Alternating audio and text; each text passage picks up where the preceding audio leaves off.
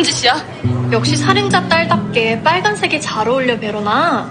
이미 다 끝난 사건이야. 우리 엄마 무죄 입증됐고 진범도 밝혀졌어. 왜 계속 고집 부리는데? 닥쳐! 우리 엄마 죽인 건 너네 엄마야. 넌 영원히 살인자 딸이라고. 네 엄마한테 미안해서 그러니? 뭐? 네 엄마한테 잘못한 게 미안해서 그래서 나 괴롭히는 거야? 그럼 좀 나? 뭐해 여기서?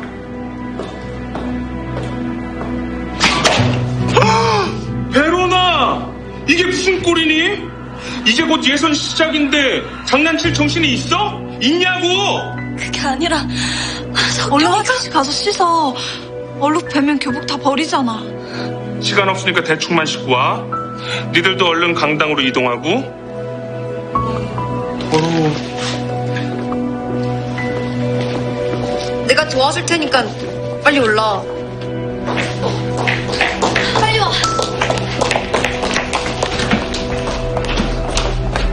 너네 여기서 뭐해? 깜짝이야. 아직 안 갔어? 우리 예상 가려고? 피아노는 내일이지. 연습 많이 했어? 어, 지금 레슨 가. 잘해.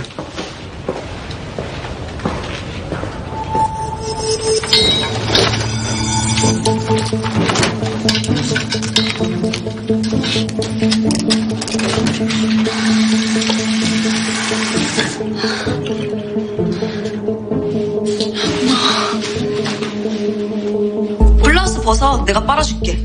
아니야, 내가 할게. 그럴 시간 없어. 곧 예선 시작하잖아. 어, 넌 치마 닦아. 고마워.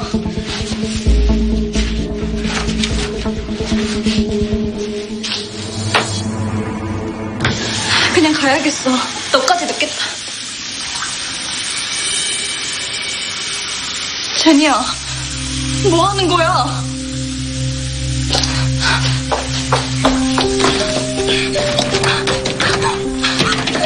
문 좀 열어주세요. 여기 문이 잠겼어요. 소용없어. 아무도 안 와. 너랑 난 왕따니까. 처음부터 알고 있었어? 그게 청아이고 룰이야. 석경이랑 은별이가 만든.